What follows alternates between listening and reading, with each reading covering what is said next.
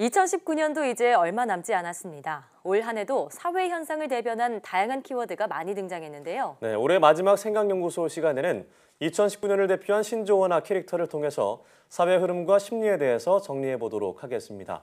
연세대학교 심리학과 이동기 교수와 함께합니다. 네, 교수님 안녕하세요. 네. 안녕하십니까. 네, 올해도 벌써 이제 마지막 생각 연구소가 그러네요. 됐습니다. 그러네요. 그러네요. 정말 올해도 정말 다양한 사회 현상을 통해서 그만큼 그 그에 따른 심리를 소개를 해주셨는데 어, 올해 한국 사회를 정리한다면 어떻게 정리할 수 있을까요? 네, 한국 사회에서 다사다난했던 것 같은데요. 네. 그 특히 이제 제가 생각할 때는 공정성이라고 하는 키워드에 대해서 어. 사실 세대 간, 또 남녀 간, 또 정치 이념 간 상당한 갈등이 많았던 것 같아요. 예. 그래서 이제 공정성에 관해서 어떤 것이 진실인지, 어떤 것이 거짓인지 상당한 혼란이 있었던 것 같고, 그 사회가 일부 보면 상당히 갈등과 분열된 모습을 보이는 것도 있었고요. 네. 동시에 보면은 또 이제 이 공정성에 대해서 각자가 생각하는 자기 목소리들을 적극적으로 표현했다 이런 예. 측면도 있는 것 같습니다. 어, 아무래도 이제 그 사회도 그렇고 앞으로 미래도 좀 불확실하고 이러니까 이제 그런 말들은 별로 안 하는 것 같아요. 미래를 위해서 현실을 많이 준비하고 절약하고 이런 얘기는 안 하고 참아야 한다. 뭐네 오히려 얘기요. 현실을 즐겁게 네. 자기가 아, 살아가라 이런 메시지가 더 많았지 않나 싶습니다. 네, 그러니까 오늘을 즐겨라 이런 얘기인데 정말 올해 여러 가지 키워드들 생각이 납니다. 신조어와 히트 캐릭터로 일단 분류를 해보려고 하는데요. 네네. 먼저 신조어부터 살펴보겠습니다. 올해 이 단어 안 써보신 분들 거의 없을 것 같아요. 네, 바로 어떤 단어인가요? 인싸요. 아, 인싸요? 인싸, 네, 네, 다 그렇죠. 아시죠? 네네.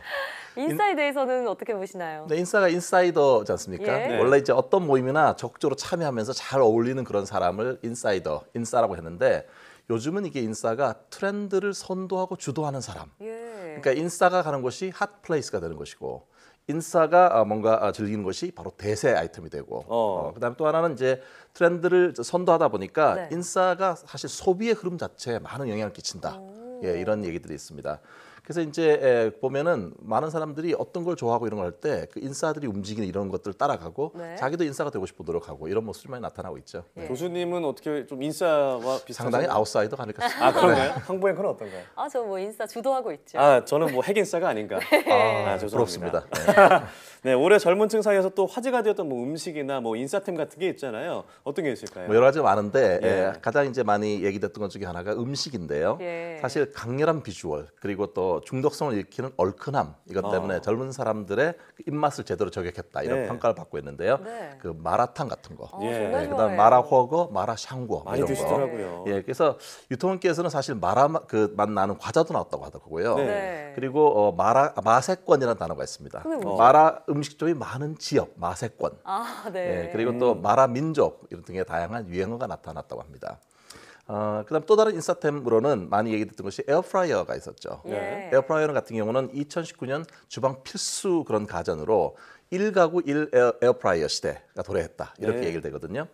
실제 시장 조사 업체 유로 모니터가 조사를 해보니까요, 국내 에어프라이어 그 판매량이 28만 7천 대로요 지난해 대비해서 무려 286%가 증가했다고 합니다. 어. 네. 286% 네. 증가했는데 이더뭐 나오는 건 뭐냐면 더 맛있는 요리를 만들기 위해서 에어프라이어 레시피 같은 것이 나타나서 네. 많은 사람들이 또 공유를 하는데 이게 특히 이제 그 냉동 식품을 활용한 조리법 이런 게 많이 돌아다니고 있어요. 그렇군요. 그러다 보니 거꾸로 어떻게 됐냐면 오히려 냉동 식품도 에어프라이어에 잘 맞게 새로 나오는 이런 물품들이 많이 나와서 식품이 이제 그 증가가 추세에 있다 이렇게 얘기하고 있습니다. 네. 아니 사실 저도 얼마 전에 에어프라이어를 장만을 해서 그렇게 자랑하더라고요. 예, 아, 마시멜로 구워 먹는 재미에 푹 빠져 있는데 상당히 그 부피가 커야 한다고 하던데요. 어, 부피가 커도 괜찮습니다. 아, 그런가요? 네. 정말 인싸템이었군요. 네. 자, 그럼 두 번째 신조어 키워드 살펴보겠습니다. 이거 다들 아실 것 같아요. 아, 라떼는 말이야. 이거 많이들 쓰시죠? 이거 모르면 꼰대라고 하는데 네. 꼰대랑 아시나요? 비슷한 것 같네요. 네, 아까 연습하더라고요. 그 이제 바로 라떼는 말이야. 그런데 이게 사실은 기성세도 이 비슷, 비슷한 말을 했었죠. 네. 라떼는 말이야. 근데 그렇죠. 이거를 네. 좀 풍자한 젊은 세대가 풍자하는 표현으로 라떼 대신에 라떼를 라떼는 이용해갖고 말이야. 라떼는 말이야. 그래갖고 실제 영어도 나오는데요. 네. 라떼 is a horse. 라떼는 말이야. 말이야. 라떼하고 말하고 상관이 없는데 라떼는 말이야라고 해서 일종의 네. 그 세대 차이를 반영하는 그런 키워드라고 볼 수 있겠는데요. 어, 벼룩시장 구인 어, 구직이 직장인 876명을 대상으로 설문조사를 했는데요.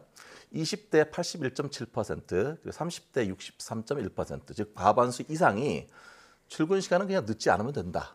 일종의 정시 출근 오케이 네. 이런 말을 네. 했어요.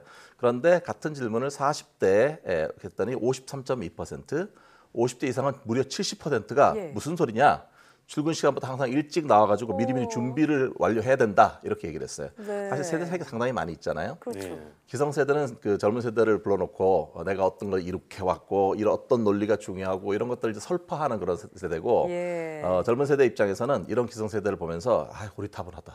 그래서 사실 이 라떼는 말이야 속에 품은 거는 세대 차이에 대한 그런 거를 반영하는 것 같습니다. 그러네요. 네, 어떻게 보면 과거의 그 베이비붐 세대와 최근에 어떤 밀리, 밀레니얼 밀레니얼 세대가 세대, 네. 한데 어우러지면서 한국 사회의 어떤 갈등 또 너, 넘어서는 이제 소통 단절이 이루어지는 것 같- 같다는 생각이 드는데요. 네, 그래서 그 책이 있지 않습니까? 90년생이 온다. 예. 네, 네. 그래서 사실 90년생들의 특징에 대해서 이제 많은 그 사람들이 궁금해하는데 뭐 정확성, 정확해야 하고 원리 원칙이 중요하고 이들한테는 이전 세대들이 당연하게 생각했던 것들 모든 것들에 대해서 아 당연하게 생각- 생각하지 않는다 나는 나는 다르다 이런 예. 말을 적극적으로 의사를 표현하는 그런 세대잖아요.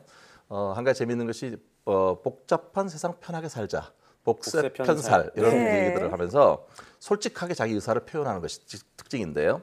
사실 이 책은 90년생이 온다 이 책은 작년에 나왔어요. 근데 어. 올해 말까지 지금 베스트셀러 어, 그 반열에 있지 않습니까? 예. 네. 그만큼 젊은 세대의 마음을 이해하는 것이 중요한 어, 한국 사회의 화두라고 할 수가 있겠고요. 예. 어, 결국은 각 세대들이 서로 간에 이제 인정 서- 차이를 인정하면서 공존하는 게 중요한데 앞으로는 더 세대 간의 이해를 위해서 더 많은 그런 시간들이 필요하지 않나 싶습니다. 네, 아니 90년대생이 온다 이 책은 심지어 실제로 90년대생들이 보고 아 내가 이래서 이런 생각을 갖고 있구나 어. 서로를 스스로를 깨닫는 그런 계기가 되고 예. 있다고도 해요. 네네. 네, 또 그럼 다음 키워드를 좀 알아볼까 하는데 다음에는 히트 캐릭터를 좀 살펴보겠습니다. 네네. 캐릭터 하면은 뭐 당연히 떠오르는 캐릭터가 있죠. 바로 펭수입니다. 네, 아마 와우, 예, 예, 저희가 바로 얼마- 튀어나오네요. 얼마 전에 좀 얘기했던 것 같은 그런 맞아요. 느낌이 있죠. 펭수 같은 예. 건 사실 2030 세대 직장인들에게 직통령, 직장인들의 대통령이라고 아, 불리고 있는데요. 네. 어, 사실. 그 저 소속사 소속 방송사 사장에 대해서도 거침없이 얘기를 하는 사이다 발언 때문에 네. 인기가 있었잖아요.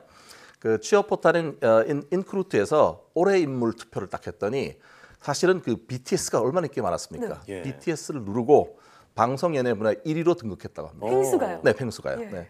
근데 이제 펭수의 어록들도 있는데요. 이런 제가 찾아보니까 눈치 보지 말고 원하는 대로 살아. 눈치 챙겨. 이런 말도 네. 있고요. 또 다 잘할 수는 없다. 어, 잘하는 게 분명히 있을 거고 음. 그걸 더 잘하면 된다. 어 감동인데요. 네, 이런 그 어록들이 많은 젊은 세대들에게 호응을 받았는데요. 예. 뭔가 은근히 동료식 같은 것도 느껴지고 네. 펭수의 그 네. 시원한 그런 말들 통해서 또 일종의 어떤 사람들은 소위 덕질 이게서 어떤 사람들은 휴대폰 그런 그 뭐 바탕화면도 펭수로 바꾸고 네. 이런 게 되게 많잖아요. 그래서 제 생각에 아마 펭수 인기가 한동안 이어지지 않을까 생각합니다. 네, 뭐저 올해 펭수 인기는 정말 대단했고요. 예. 또이 캐릭터도 빼놓을 수 없을 것 같습니다. 뭔가요? 교수님 한번 맞춰보시겠어요? 묻고 더블로 가. 아, 네. 뭔가 더블로 간다면 그, 그 노름 이런 거 아니에요?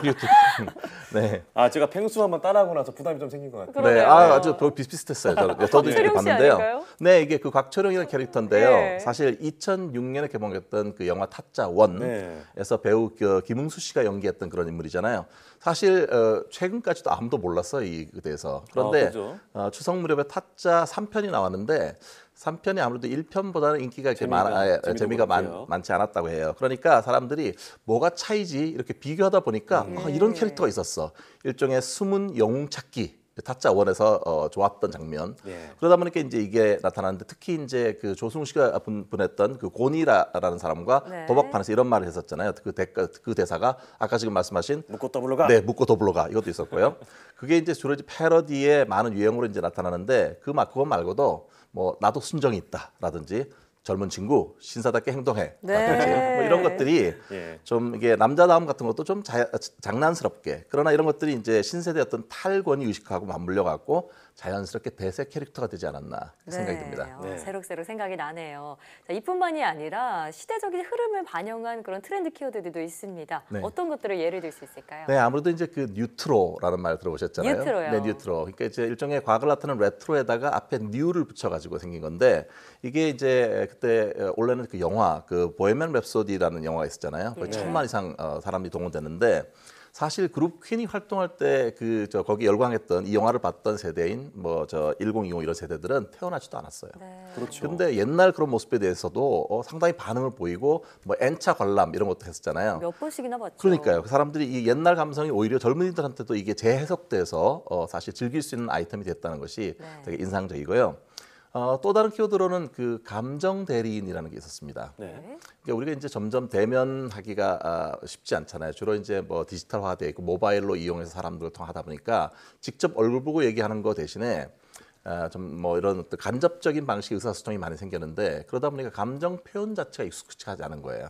그러니까 자기 감정에 대해서 대신 표현해주고 느껴주는 그런 사람이 감정 대리인이 있는데요. 네. 그러다 보니까 주로 많이 사용하는 게 이모티콘이잖아요. 그래서 어, 모 메신저 같은 경우는 한 달에 20억 개 이상의 이모티콘을 사용한다고 합니다.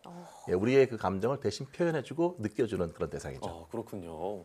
자, 지금까지는 뭐 2019년에 사회 심리를 드러낸 어떤 뭐 신조어, 캐릭터, 트렌드 키워드를 알아봤는데 네. 그럼 앞으로 내년도 2020년도에 한국 사회 흐름은 어떻게 될 것으로 아, 예상이 상당히 큰? 질문이고 어, 자신이 없습니다만 네. 네, 한번 저 시도를 해보겠습니다. 기대해 보겠습니다. 네. 제 생각에는 이제 주 52시간 제도가 조금 더 유연하게 될 것 같아요. 네. 그러면 시간이 조금 더 나게 되면은 사람들이 자기 개발하는 사람들 퇴근 후에 이런 사람들은 계속 많아질 것 같습니다. 그렇습니다. 그리고 이제 이게 그 또 하나는 그 저 밀레니얼 세대 다음 세대가 Z 세대가 예. 있잖아요. G 세대라고 하는 네. 이 세대는 상당히 어떻게 보면 그 각각의 개성의 차이라든지 이런 걸 잘 그 인정하면서도 또 인간관계도 잘 이렇게 원만하게 느슨하게 또 이렇게 잘 유지하는 그런 세대라고 해요. 그러니까 이런 세대들의 어떤 특성을 반영해서 아마도 공정성이라고 하는 키워드는 훨씬 더 주- 여전히 중요하겠지만 훨씬 더 융통성 있게 잘 이게 그 저 얘기되지 않을까 이런 생각이 들고요. 네. 어 이제는 소유한다는 개념, 특별히 그뭐 소유할 만한 돈이 없어요. 그러니까 소유보다는 사실 공유하는 그런 개념의 공유 경제라든지 또는 뭔가를 빌려 쓰는 사용 빌려 사용하는 렌탈 어, 사업 같은 거 이런 것들이 강세를 보일 거라고 생각이 되고요. 어 그다음에 저희도 한번 다룬 적이 있는 것 같은데 이 TV라든지 이런 매체보다는 이제는 즉각적으로 이렇게 접속해 가지고 예, 어, 활용할 수 있는 스트리밍이요. 그렇죠. 넷플릭스나 이런 걸 포함한 streaming life 이런 네. 것들이 더 확산될 거라고 봅니다. 어, 아무래도 이제 정치적으로는 이제 에, 내년에는 총선 같은 것도 있기 때문에 여러 가지 이념이나 뭐 여러 가지 갈등 이런 것들이 있을 수 있을 것 같은데 예. 오히려 이제 그게 지나면서 뭐 총선이나 국회의원 중에서도 젊은 세대가 많이 진출할 것 같고 또 어떻게 보면 서로 갈등하는 거에 대한 피로감도 상당히 많이 쌓여 있는 상태이기. 때문에 좀 더 더 합리적으로 소- 소통하고 토론하고 이런 것들이 더 이제 에, 나타나지 않을까 이렇게 네. 기대를 합니다. 그래서 뭔가 서로 다르지만 공존할 수 있는 사회, 소통하고 화합하는 그런 모습이 내년에 더 많이 나타났으면 하는 그런 바람을 네. 가져봅니다. 내년에도 갈등을 피할 수 있으면 좋겠지만 어렵겠죠. 좀 서로 간의 차이를 깨닫고 이해하는 그런 한 해가 됐으면 좋겠습니다. 오늘 말씀 잘 들었습니다. 네. 네, 감사합니다.